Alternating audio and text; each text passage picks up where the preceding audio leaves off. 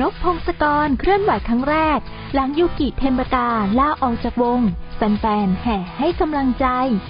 จากข่าวช็อกแฟนคลับ กรณีที่ยูกิเพ็ญผกา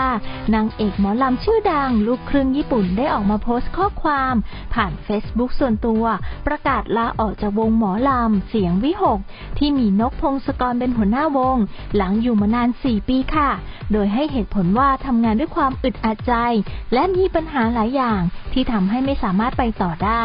จากวันนี้คงเหลือแต่ความทรงจำล่าสุดค่ะนกพงศกรหัวหน้าคณะ หมอลำนามวิหค ได้โพสต์ข้อความผ่านเฟซบุ๊กส่วนตัวครั้งแรก หลังนางเอกหมอลำยูกิเพ็ญผกา